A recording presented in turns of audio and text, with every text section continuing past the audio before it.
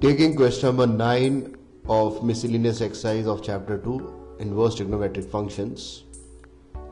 The question is prove that tan inverse of root x is equal to 1 by 2 times cos inverse of 1 minus x upon 1 plus x.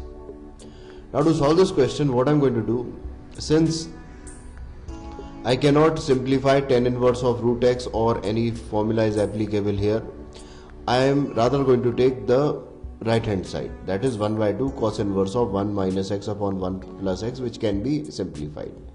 So taking right hand side that is 1 by 2 cos inverse of 1 minus x upon 1, plus, uh, 1 plus x.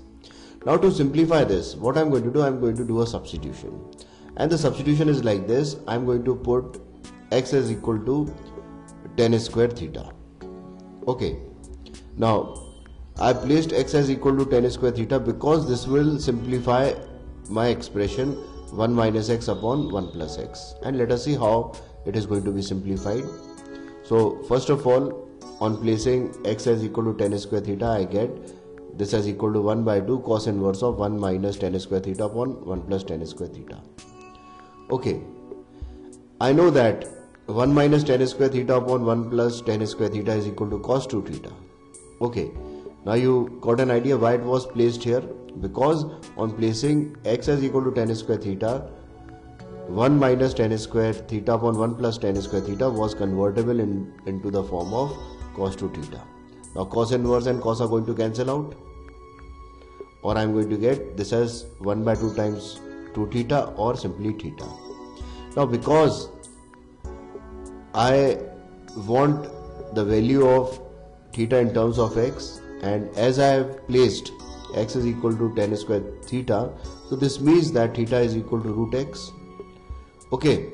And further I can write theta is equal to tan inverse of root x. Okay. So on calculating the value of theta from x is equal to tan square theta I get theta is equal to tan inverse of root x. Okay. Now which gives me the value equal to the left hand side and this proves that tan inverse of root x is equal to 1 by 2 times cos inverse of 1 minus x upon 1 plus x so this is how I'm going to solve this question